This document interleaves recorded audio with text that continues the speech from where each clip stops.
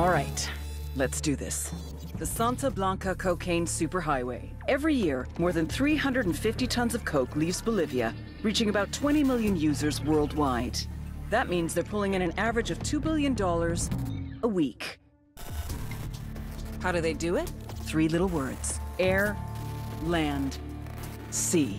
All coordinated by the head of smuggling, Nidia Flores, La Reina de Belleza, the beauty queen, and her right-hand man, the ravishing, the bewitching, the delectable El Boquita.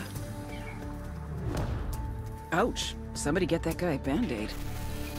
The problem is, you see these guys on the news, you see decapitations, you see monsters, but you don't see the whole picture. These people are fucking geniuses. Case in point, you see tits, Nidia Flores sees opportunity. You see scrap metal, Nidia Flores sees submarines. You see holy water, Nidia Flores sees liquid cocaine. Because Nidia Flores is a fucking genius. You really want to shut down the cocaine superhighway?